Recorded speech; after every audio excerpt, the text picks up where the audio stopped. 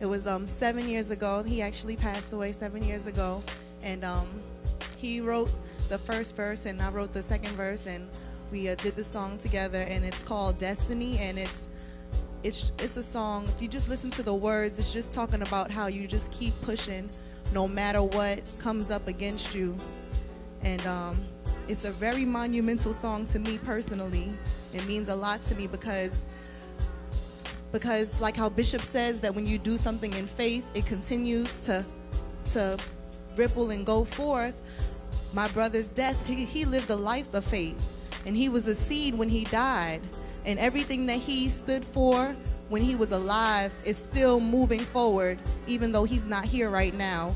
And another thing that his seed did that you guys don't know is that i was not completely and fully sold out for god. You know when he was sold out for God. And he still continued to believe for my salvation and continued to believe for my family's salvation, which is what I'm believing for right now. But his seed went forth, and his seed was still moving for him, which allowed me to be in position right now. So that it means so much to me. It speaks volumes to me because sometimes I feel like when God is not even keeping me for myself, I know that God is keeping me for my brother because he sowed that seed. And so just be encouraged on tonight, y'all, because I'm encouraged, I'm blessed, and I'm moving forward in destiny in Jesus' name. And not only that, I just wanted to share to go along with the word. When um, Bishop says the greatest prayers when you can pray for someone else. Earlier today, I was at home with Zeta by myself, and I literally was in so much pain I got scared. I thought I was like, I thought I was dying, and I began to like panic because the pain was so overwhelming. My temperature was rising, and I was in the house like, Lord, I'm in the house with Zeta by myself. You know, I got to get it together, and I was panicking, but I knew it was a spirit of fear. And usually, I call or I text Minister Cannon, but for some reason, I texted Della, and I was like, pray because I don't know what's going on. And she was texting me back and forth. And I was like, Have you ever just felt like you knew something was wrong and you just don't know what to do? However, I was in pain. Like I was already telling Minister McNair, like, I don't know what's wrong with me. I'm gonna ask Bishop if I could just take tonight to rest. But when she called, she said that Dr. Hepburn wanted her to do the song to tribute her brother. And I was like, God, give me the strength she I, I never sang the song but i know that bishop teaches us that we have to be instant in season and i was just like lord i love adela and please take this pain away so i can minister with her to tribute her brother because i know what it is to lose a loved one and when i'm telling you dr hepburn I have been in pain for days. Minister McNair can tell you last night, I probably lost a couple pounds, is how much I vomited last night. And I literally, after I said that prayer, I sat on the couch and it was like God instantly took the pain away. I was able to start moving, getting ready for church. I have been in no pain all night long. And when Bishop said that, I knew that that was God because, you know, I knew I had asked for something above Olga. It's one I could pray all day like, Lord, just heal me so I can do what I want to do. But because he knew I, my love for Adela and how much I knew it meant to her tonight, I know that's why he instantly heard and honored my prayer. So the word was just on point tonight. And just to hear you say that, the test created the opportunity for her healing because she passed the test. We didn't plan this. Passed the test because she's now ministry.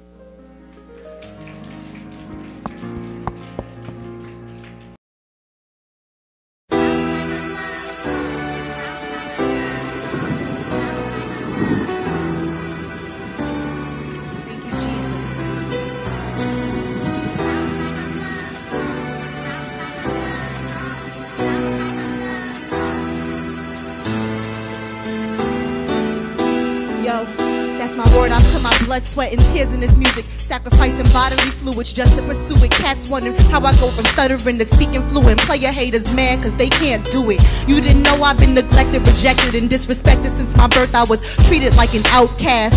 Labeled trash, but the Bible says the first shall be last. I'm walking sandfall in the hourglass, trying to forget the hurts of my past. Over time, my mindset has changed. I'm tired of playing games. This hip hop be running through my veins like blood. I give my life with his love. Music with purpose is what I'm pursuing. These haters doubting me, but I'm still moving, cause I could see success in the distance. I plan to leave a legacy for my lost descendants and let my lyrics rise to God like some holy incense. It's not a game, I'm pressing through all opposition and resistance. Listen, sometimes I wanna stop, but I hear destiny calling me, and it keeps on calling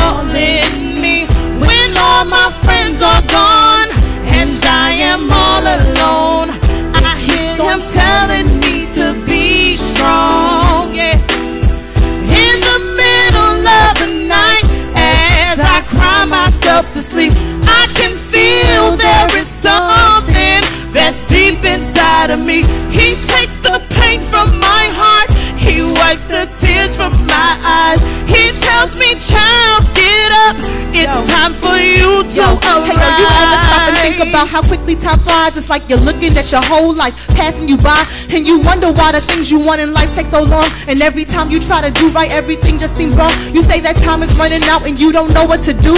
And the only person that can choose the right thing is you.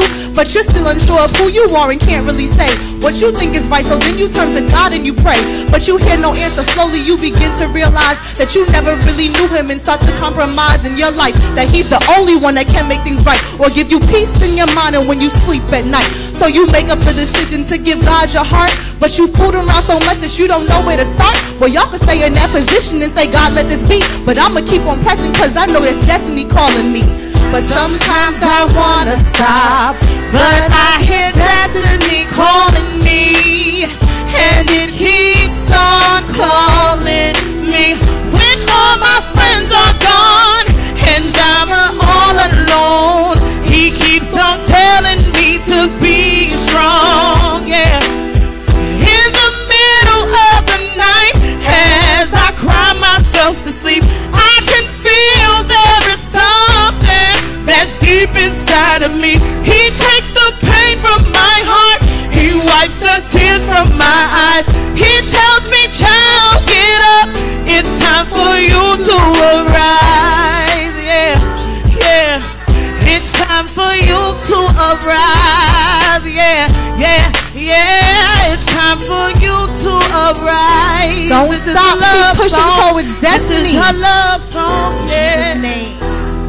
Is a love song. It's time for you to arise.